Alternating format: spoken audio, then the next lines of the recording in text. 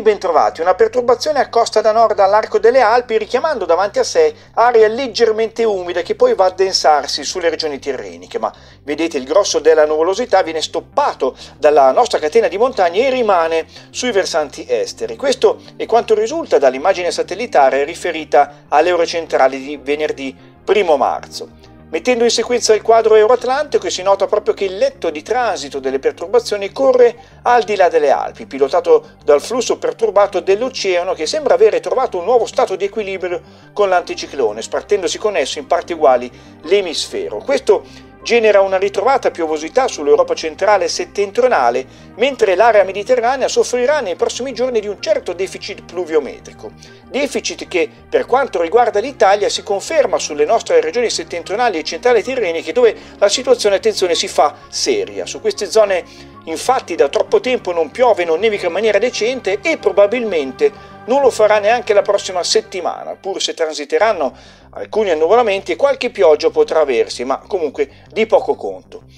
Se pioverà con il contagocce le temperature si manterranno su valori al di sopra della media, questo non solo al nord ma su tutta l'Italia, anzi nel corso della prossima settimana al centro e al sud si avrà una notevole impennata, si imposterà un regime climatico certamente avanti di un mese rispetto al normale andamento stagionale.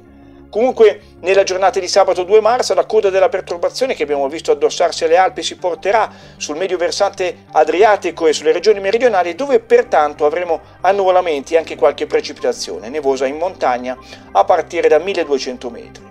Su queste zone, ma anche in Sardegna, avremo un rinforzo del vento di maestrale che manterrà per la giornata le temperature in linea con i valori medi del periodo.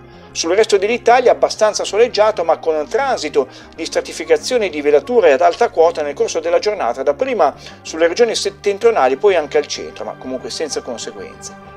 Domenica 3 marzo in prevalenza soleggiato con nuove velature in transito al nord nel corso del pomeriggio. Qualche nube bassa da segnalare tra la Liguria e le regioni tirreniche per il rientro di aria leggermente umida dal mare. Le temperature sono stazionarie.